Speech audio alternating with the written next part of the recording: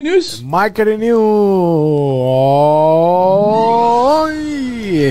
here we go, my people. Getting right into it, baby. Woo!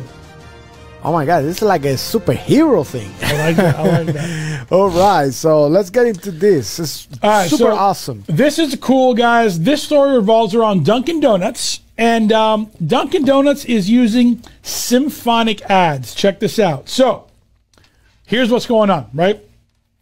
They're driving ad results by matching background music to listeners' taste. All right, so so if you're using the Wi-Fi, right, and you're listening to a certain genre, they want to match what you're listening to and then serve you an ad based on what you're listening to. Whoa. This is creepy. It's.